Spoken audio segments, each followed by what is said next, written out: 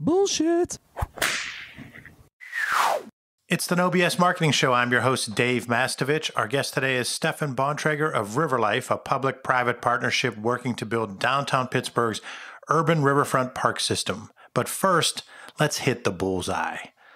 Understanding your target customers, knowing who they are and what they want, is essential to marketing success. Yet so many companies miss the mark with their offerings and their messaging. Why? Maybe they think they know their target audiences better than they actually do. In order to hit the bullseye, you need to first invest the time into clearly and truthfully, that's the key word, truthfully defining your target markets. Drill down based on multiple variables. Know that who you market to is different than who you sell to.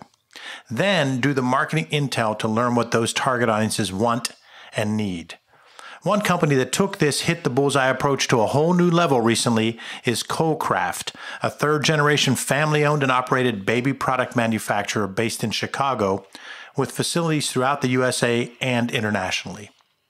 Kolcraft decided that they wanted the target audience for buying their product, parents, to experience what the actual customers who use their product, children, experience. So they built an adult sized baby stroller twice the size of the one for babies. The supersized stroller is seven feet six inches high, six feet deep, and four feet wide. And everywhere they take it, parents just line up to get their ride in the supersized stroller. Kolcraft's president Tom Koltun said in a press release, "We created the test ride so adults could experience firsthand how each contour stroller is carefully designed with a baby's joy and comfort in mind." And make sure it's the perfect choice for their family. Parents who've ridden in it love it, and so does the media. The stroller's been featured on The Today Show, in the Huffington Post, and in many other media outlets. Sure, the adult sized stroller was probably conceived mainly for PR and brand awareness purposes. But the strategy also shows us how helping the target audience better understand your offerings enables you to hit the bullseye. I think Elle needs one. Yeah, my daughter would probably love seeing me in the adult sized stroller pushing her in a, you know, child sized stroller stroller train. The No BS Show is brought to you by Audible.com. Get a free audiobook download and 30-day free trial at audibletrial.com slash no BS. Try a new release like Amy Schumer's The Girl with the Back Tattoo. You can download it for free today at audibletrial.com slash no BS. Over 180,000 titles to choose from for your iPhone, Android, Kindle, or MP3 player. You heard Suzanne jump in and our guest today, Stephan Bontrager, Director of Communications for Riverlife, a public private partnership working to build downtown Pittsburgh's urban riverfront park system. In episode one, Stephan, we went over your uh, high, college uh, experience in Goshen, your first job, which made a big impact because it taught you a lot about the technical aspect of an ad agency and you got to work with a ton of talented creatives. But it also gave you your first example of BS in the workplace, and it was for a large uh, a beer company in your hometown of Denver, Colorado. You then were a part of Pulse, a great program here in Pittsburgh, a nonprofit which sort of had you live the uh, MTV reality show The Real World, where eight of you right out of college got to live together and experience Pittsburgh as part of this nonprofit endeavor where you each worked for a nonprofit. That led you to get a job at WESA, WYEP after the great Suzanne Mayer was there, or No, before, before. before one, Before. one or the other. And uh, you got your master's at Point Park, and then you began to tell us about this tremendous organization, Riverlife. And you talked a little bit in episode one about the branding effort and how uh, the North Shore became the North Shore. But more importantly, the first project were, was the stadiums, and then 13 miles. Give it to us. Tell us more about Riverlife.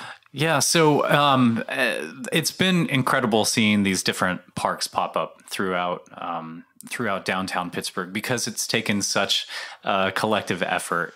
We live in a city of Pittsburgh where uh, there's no laws currently, although that has changed recently. There used to not be any kind of laws, zoning or otherwise, that required someone who owned riverfront property to develop their property so that the riverfront edge was accessible to the public. So it really was a lot of negotiating with private property owners, with developers to say, hey, look, it's really in your best interest to make your property connect to the trail system, to make it look, you know, attractive to to add amenities for for the public. There are a lot of property owners who'd say, you know, I don't want people coming on my property. I that's too too much liability, or you know, I why can't I develop it the way I want to develop it?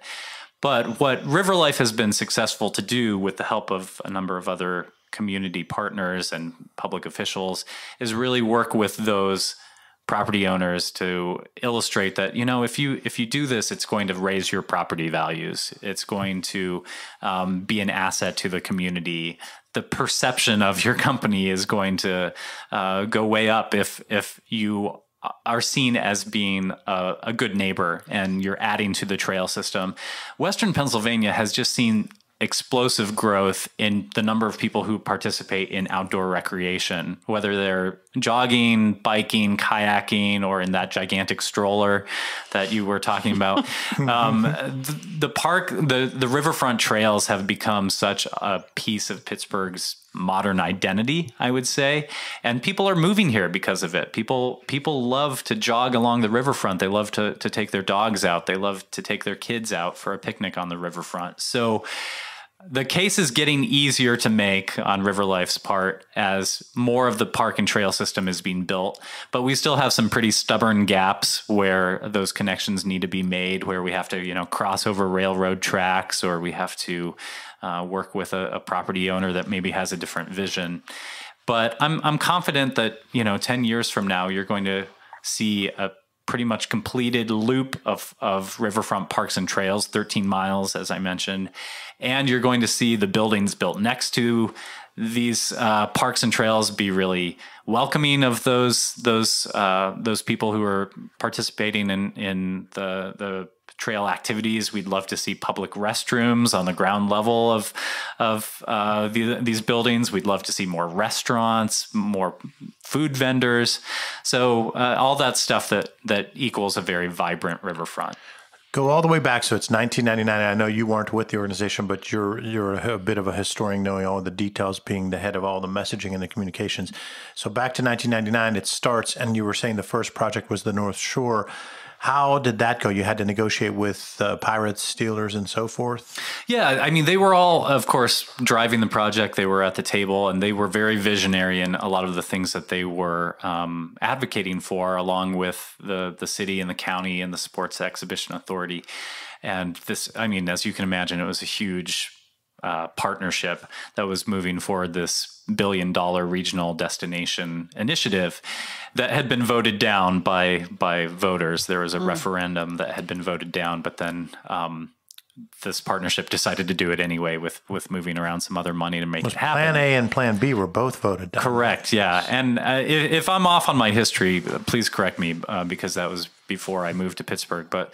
From what I know, um, you know, the project was moving forward, but they were bringing in market analysts to see what sort of development could happen between the stadiums. And as I've heard it, a lot of these folks were saying, ah, Pittsburgh can only support, you know, big box stores with surface parking lots between PNC Park and, and Heinz Field once once the new stadiums are built.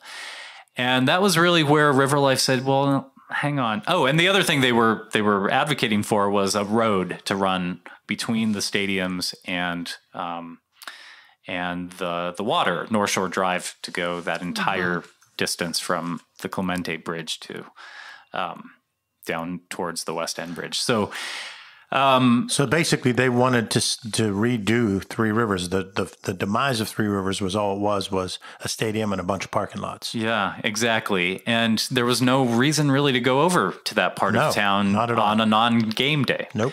Uh, there was a very narrow trail, I, I, believe, but not really a destination to go. So that's where Riverlife um, kind of inserted ourselves, whether people wanted us to be Thankfully. there or not. Thankfully, and um, you know worked with a lot of talented folks in all of those partners partners uh, to to make the case to move that grid back from the riverfront and invest in creating that green space with the hopes that that, that would encourage higher quality development to to fill in between the stadiums. And and fortunately, that's exactly what happened. You have much better caliber office buildings and hotels and, and restaurants that have gone, gone in there.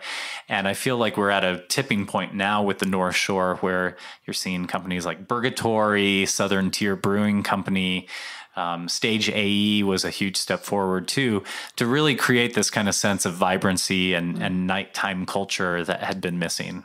so, to walk us through the 13 miles, if you if you were standing at Heinz Field, take me the 13 miles. Yeah. So if you imagine in your head the shape of a wishbone, kind of like you know uh, one prong on one end that branches out into two prongs and that the the fork is where Point State Park is. So that that basically that wishbone is the three rivers coming together. You have the Allegheny coming down from the north and the Monongahela coming up and then they form the Ohio River. And our boundaries currently are defined by the West End Bridge over the Ohio. And then if you go back up uh, the Allegheny into the Strip District mm-hmm. to the 31st Street Bridge, then come back down the Allegheny, round the point, and go up the Mon to the Hot Metal Bridge at uh, Southside Works. Gotcha. That's basically the loop that we've been working on, and those boundaries have grown over the years. Initially, when we started, the the boundaries I think were just limited, kind of around the Golden Triangle, but as more and more of the trail system has been built we keep jumping up, you know, the next bridge upriver and expanding those boundaries. So it's it's really exciting. I mean, now there are projects that are just outside of our boundaries that are are huge opportunities. Like Almono and Hazelwood is this huge riverfront parcel that um, several foundations own. That's just outside of our our area of of uh, expertise or area of emphasis, I should say. But we're very uh, very much intrigued to see what happens so there. take me here. We are in Gateway Towers. Right outside is the point. If we're on this side of the river, is there a walkway?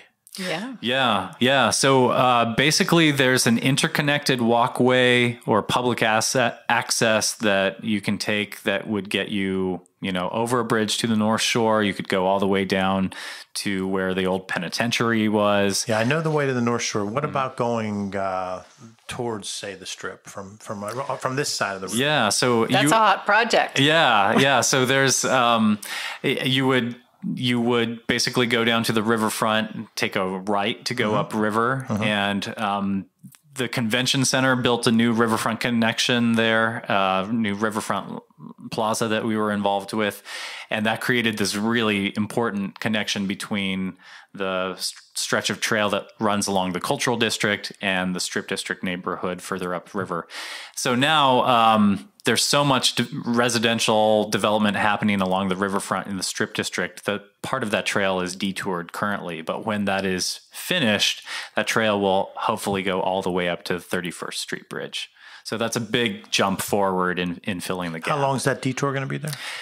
Well, uh, the detail from detour from I think 11th Street to 15th Street will be in place through about November of this year. The the property owner there is doing a trail improvement project, widening the trail, okay. doing some other things, and then um, a developer from 15th Street to 21st Street is doing a new riverfront residential complex, and that's going to take a little bit longer. And from what we've been told, that that section of the trail will open back up probably next year. Mm-hmm. So it's it's a minor inconvenience. I know a lot of our cyclist friends and pedestrian friends hate it when whenever uh, things are detoured, but it's the the march of progress and connectivity and and um, getting more and more resources on the riverfront. So it's a better experience for everyone. So of that 13 miles, what percentage what percentage is developed at this point? 80 over 80% See, that's is great. complete. So I think in the next 10 years the remaining 20 will be filled. Yeah. But then at that time even even after those gaps are filled, then we have to start looking back at the first generation of projects exactly. and making sure that they've been upkept and, and maintained and and uh, maybe even reconfiguring them in some ways. Like for example, the North Shore, if it were to be built again today, we'd probably advocate more for a soft riverbank. Uh, right now, there's a, there's a high wall bulkhead, concrete bulkhead along the the riverbank there, which creates a, a, pretty terrible wake for boating and you know it doesn't really help out the natural habitat there. So one of the projects we're currently working on with the Army Corps of Engineers is going back and looking at sections of the North Shore where the riverbank could be restored to more of a natural sloping soft riverbank which would help bring back river habitat, but would also complement very nicely all the activity that's happening there. It'd almost be like an eco tourism destination right in the middle Oh, of cool. all this sports and nightlife activity that people love so much. The No BS Marketing Podcast with Dave Mastovich is brought to you by Mass Solutions. Put our three step No BS process to work for you. Visit massolutions.biz today to take your marketing to another level. It's all about bold solutions, no BS. That's Stephan Bontrager of Riverlife, and you're listening to the No BS Marketing Show. I'm your host, Dave Mastovich. A lot of interesting stuff to talk about there. The North Shore and all of the river fronts here of in, within Pittsburgh is uh, improved so much. And even someone who's here every day and has participated in a lot of stuff, I don't know enough of the particulars. So, what I'd like to do is put something on the show notes. Is there something on your website that could show people visually this? Absolutely. If you go to riverlifepgh.org, that's our website, and we have a really great section um, called Riverfront Projects, which is just a, a nice way of orienting yourself with what is located where and what it's called. A lot of people experience these parks on a daily basis, but they don't know what it's called. They don't know, you know, who maintains it or who is responsible for it. And so we have a nice listing of all of all of those existing parks and then what's currently under construction and then any kind of future um, plans for filling those gaps. Excellent. So, when it comes to messaging, we have to understand both our why, our reason for being, which when I read Simon Sinek's fantastic book of Start with Why, I related to that as a CEO. I said, I have to convey the reason Mass Solutions is in existence, our reason for being, our mission. I could, I could articulate that to other CEOs that I was talking to. But then as I thought about it, I felt that there has to be a second why that's answered, and that's our customers' why or reason for buying. And crystallizing those two answers, the two why questions, into one big idea one memorable message or theme that makes an emotional impact on our target audiences. So, whether it's for you personally or Riverlife, what's your big idea? Well, you know, we've we're an interesting beast in that we're basically doing I'm I'm basically doing nonprofit marketing. We don't have a particular item that we're selling where it's easy to track sales and it's easy to track um, you know how we're getting our message out there.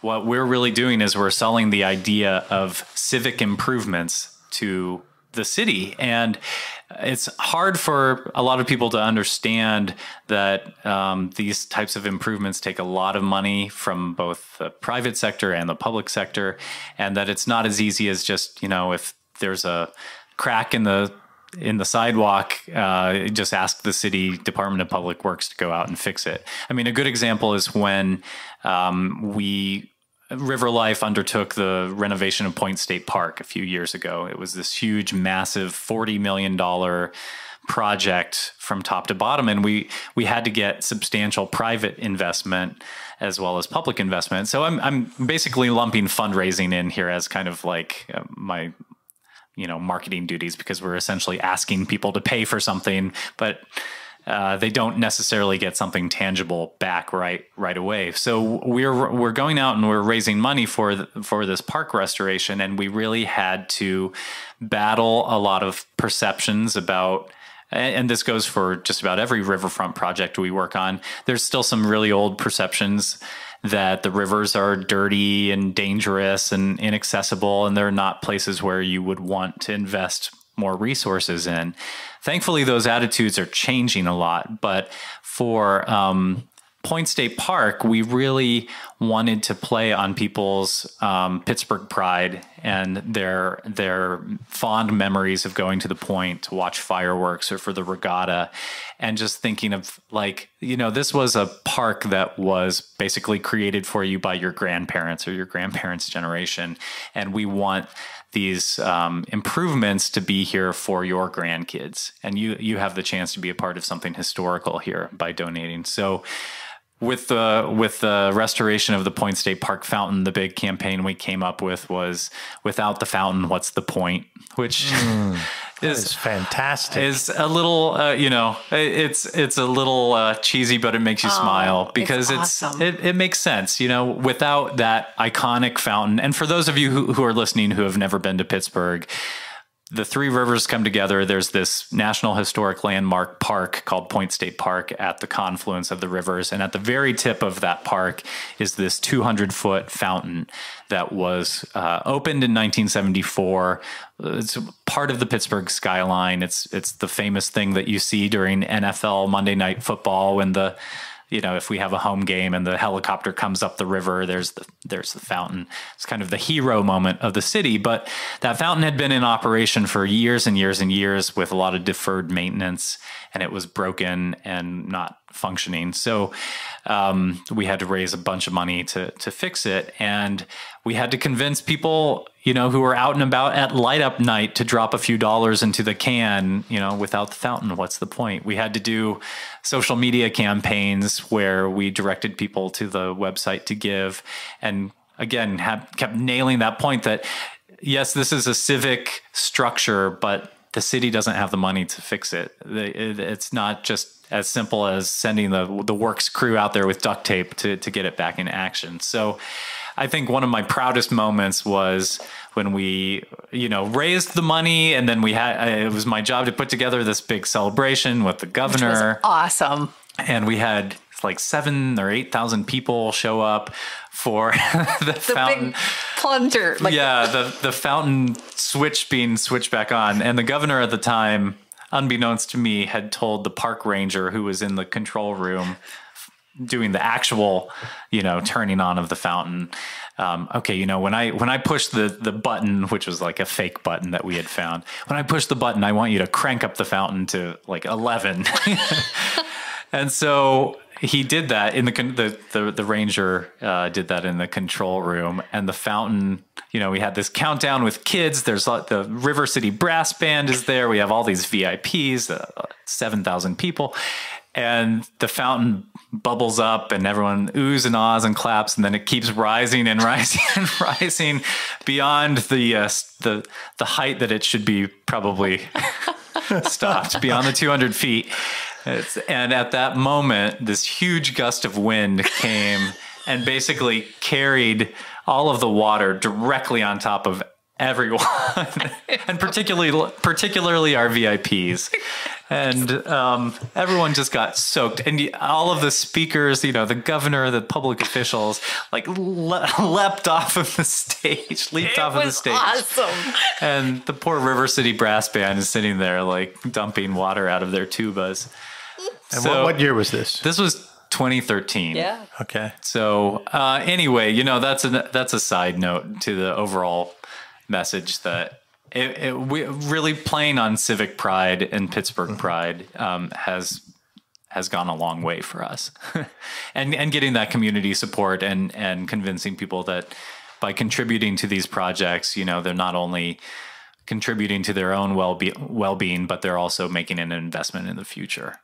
Without the fountain, what's the point?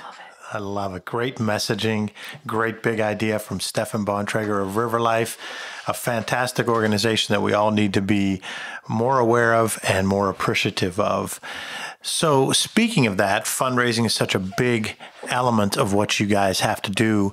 And since you talked a little bit about it in episode one, let's talk more about the big event coming up. Sure. Our our biggest fundraiser and also our biggest marketing activity of the entire year, since we're a small nonprofit, is Party at the Pier, which takes place on August 26th at um, the Rivers Casino Outdoor Amphitheater at, at the North Shore. And um, we we don't have a huge budget for for advertising this event. We we do some, you know, print advertising and some uh, broadcast advertising, but we try to get a lot of that as in kind sponsorships from from our media partners. So where we really drive ticket sales is um, all through social media, and even though our our our audience tends to range from you know the 25 year old young professional all the way to the 60 something corporate ceo we've found that so many people really are able to grasp what this party is by our messaging on social media and we sell more tickets through Facebook advertising than just about any other um, mechanism. And we always try to come up with a catchy theme for the party. This year it's Rhapsody in Blue, which pays tribute to blue and water and the, you know, the aquatic aspect of what we do.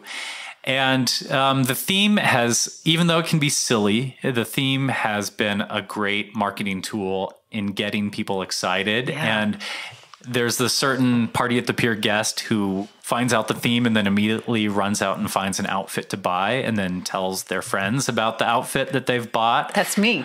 And it, it creates excitement throughout the whole summer. So, you know, it, it, when you hear these silly themes for, for special events, you might roll your eyes, but it really does help differentiate the event and try to we try to keep it fresh and new every every season. And you all have done some cool stuff in the past with I know with ModCloth where you give fashion ideas. And yeah. that's you know promoted through Facebook as well just to kind of get people yeah, I'm not a super fashionable person, but I feel like this uh, this this party has turned into a big fashion event, yeah. um, which is cool. And yeah, we we partnered with ModCloth, which is a Pittsburgh-based uh, national retailer that uh, that specializes in kind of vintage designs, uh, mostly for women. And we we were very fortunate in having that partnership with them where every year when we announce the theme they put together some style boards and then we do some tv appearances where they have models dressed in the theme. And so it's kind of like a nice co-branding type of of partnership there, and it's a great way of of um, shining some light on a Pittsburgh-based company. And it gets people talking it gets people excited and and and our guests really end up bringing their a game when they come to the party. There's you know kind of that whole red carpet experience. And speaking of guests uh, you're expecting 900 and it's a who's who of people from the region. Yeah what we really try to do with the event is we try to keep it accessible to everyone. We have a nonprofit discount ticket that's pretty affordable and then we have you know our more expensive vip tickets um, and it all goes all the proceeds go to Riverlife and our work along the riverfronts. But uh, in in having that sort of diversity of of uh, guests, it, it, keeps it fun, it keeps it fresh, and a, a, lot of the younger attendees bring a different sense of style, and you have the, the older attendees who bring the history and the elegance, and and it's it's really wonderful. I feel like it's a night that showcases Pittsburgh's riverfronts at their best. Go through it again the date and the time to go and where to get the tickets. Sure. You can get tickets online at partyatthepier.com. Uh, it takes place on Friday, August 26th at the Outdoor Amphitheater at Rivers Casino. It's presented by PNC, a very generous title sponsor. Uh, tickets begin around $80, and um, there's a great uh, social media digestible video on our website always keep it less than two minutes, um, but uh, it gives you uh, some some good footage of the previous years and and a taste of what to expect at partyatthepier.com. Stephan Bontrager of Riverlife, pick a tool that will help our audience tell their story, craft their message, or communicate to internal and external target audiences. Something you think will help our listeners again, I'm I'm going to harp on Facebook. I, I know some people hate Facebook. Some people aren't on Facebook, and and that's going to be something to address as as people age out of Facebook or or the next big thing comes along. But I found that for a nonprofit like Riverlife that has a very limited budget, we're able to connect to a very specific audience through targeted messaging on Facebook for a relatively low cost, relatively low advertising expense. And um, anytime you can incorporate video content into what you do, um, the higher your success rate in, in getting people engaged what we do at Riverlife is so visual. We have those before and after photos and, and videos that show, you know, what the North North Shore used to look like in the days of Three Rivers Stadium versus what it looks like now. And that stuff is so powerful for people to see, and it's so important for people to see who who didn't live here, who didn't didn't remember it that way back in the day. Um, to see just how much of a transformation has taken place. So we always try to make sure we have a, a videographer at every, you know, ribbon cutting, groundbreaking, special event, um, and even just going out on nice sunny days when there are lots of people out on the rivers. capturing that footage and then distilling it down to a, a, video that's usually a minute or two, front loading the video with all of your messaging up front. So you have your your organization's logo in the very first frame and your your website. So in case the video doesn't play automatically on Facebook, at least it's frozen on your your um, your contact information. And we, you know, we get tens of thousands of views of those for a, a little nonprofit organization for an investment of about you know thirty dollars, and you, you can't beat that. Wow, no, you can't beat that. That's yeah. amazing. That's amazing. Stephan, how can listeners contact you if they'd like to learn more about what you do? You can always email me directly, Stephan, S T E P H A N, at riverlifepgh.org. I mentioned the Riverlife website before, riverlifepgh.org. And you can find us on social media Facebook, Twitter at hashtag riverlifepgh or at riverlifepgh. Of course, you can always Google us too, but we'd love to hear from people who are interested in becoming more involved in the transformation of the riverfronts. Stephan, thanks for being on the show. My pleasure, Dave. Thanks for having me. To our listeners, thanks for joining us for the No BS Marketing Show. Visit massolutions.biz slash bold solutions for show notes plus additional marketing and messaging resources. Are you signed up for light reading? You'll receive valuable strategies every other week to improve your marketing and transform your message. It really is light, intended to be read in two minutes or less, and it just might trigger bright ideas for you. To sign up again, go to massolutions.biz. Remember, ask yourself, what's the big idea? and build your story around the answer. It's all about bold solutions